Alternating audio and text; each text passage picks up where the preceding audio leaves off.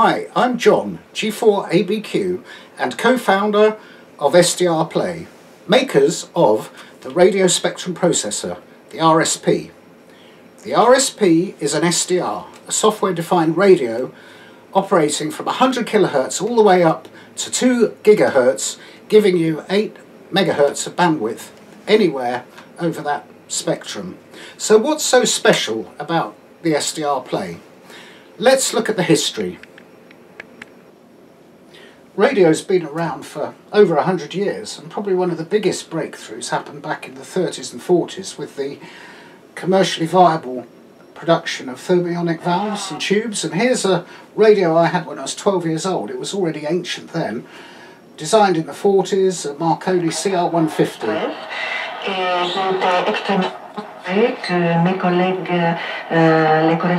Still working today and using thermionic valves as also in this 10 watt uh, top band 80 transmitter that I built in the early 70s um, just at the end of uh, end of the time when people were still using this technology. In the 60s the next big breakthrough was semiconductors first of all in discrete transistor form and then ICs, integrated circuits, and this fueled the development of more and more compact radios while at the same time bringing ever increasing functionality to the point where new digital modes became possible. In parallel, that same technology was powering computers which grew capable of processing digitally what could previously only be done using cumbersome analogue components. Here's an example of some fine Japanese technology listening in on the 20 meter band.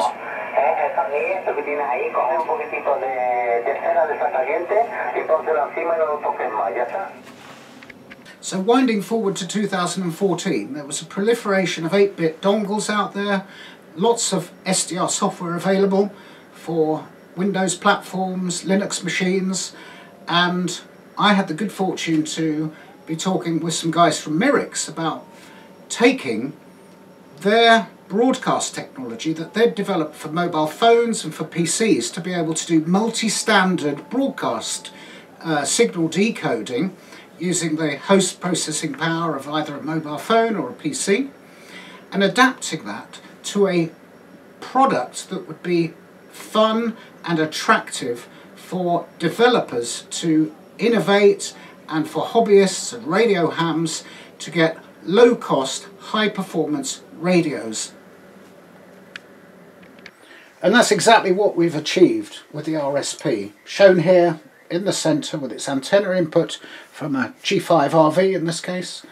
It's sort of a wire dipole for HF frequencies. And a USB on the other side connected to a Windows PC. Then over here on the main display you can see HDSDR which is probably the simplest um, general purpose uh, software to use uh, tuned in to the 20 meter band, 14 megahertz, and showing the whole of the amateur band from 14 megs up to 14350. I'm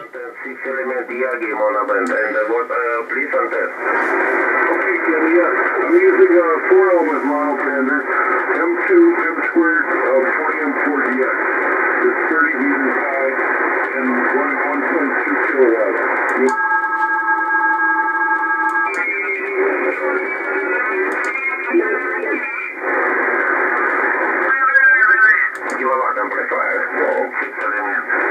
to get in touch with him? Okay, it's about two hours drive from me, this video, so I could easily do that. No problem. So there we are. Good day out it was. And, um...